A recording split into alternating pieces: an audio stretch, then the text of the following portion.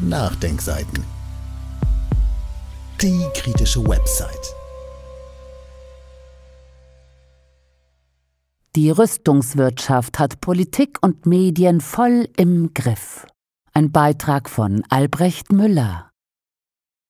Heute schlage ich meine Regionalzeitung auf, die Rheinpfalz. Die Eigentümer dieses ihres Stammblattes, die Familie Schaub, besitzt eine Kette von weiteren Medien, Rundfunk und Zeitungen, wie zum Beispiel die Freie Presse in Chemnitz, die Stuttgarter Nachrichten, die Stuttgarter Zeitung und die Süddeutsche Zeitung.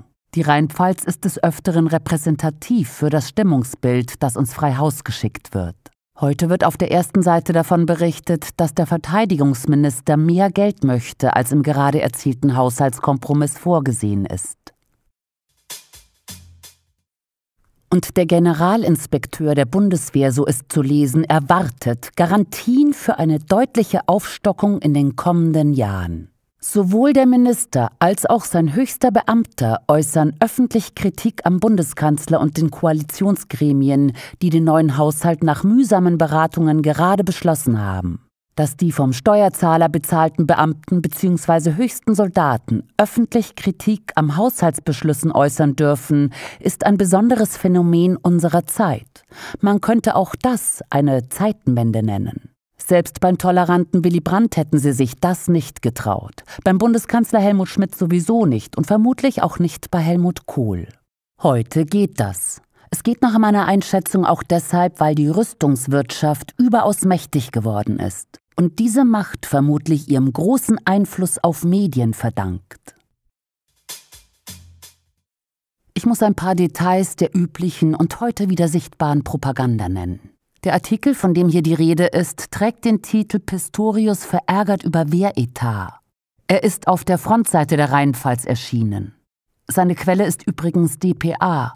Deshalb kann man mit hoher Sicherheit davon ausgehen, dass in anderen Zeitungen wie auch beim Hörfunk und beim Fernsehen auf diese Quelle rekurriert wird.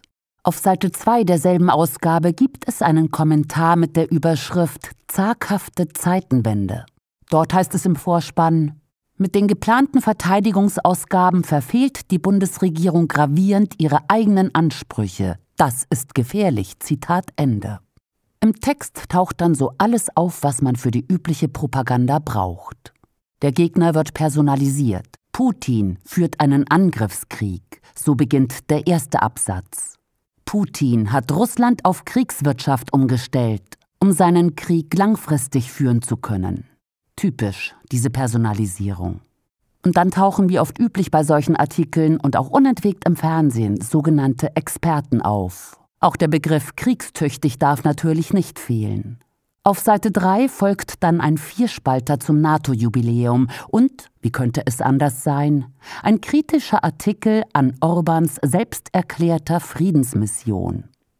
Ähnlich sieht die Propaganda in anderen Medien aus. Im Schrifttext finden Sie ein paar Belege aus der Süddeutschen Zeitung. Zum Beispiel Pistorius vor NATO-Gipfel verärgert über geringen Wehretat.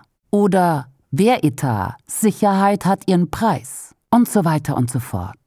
Ich mache auf diese penetrante Propaganda aufmerksam, weil Propaganda schon häufig in der Geschichte am Anfang von Kriegen stand.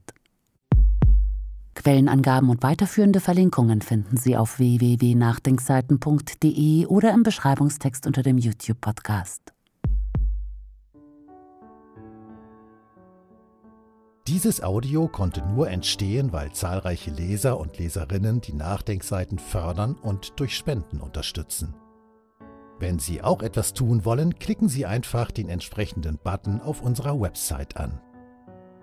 Übrigens, Sie können uns auch bei iTunes, SoundCloud und YouTube hören und wenn Sie mögen, gerne unseren Kanal abonnieren und eine positive Bewertung für uns abgeben. Wir freuen uns über Ihre Unterstützung und die Weiterverbreitung unserer Inhalte.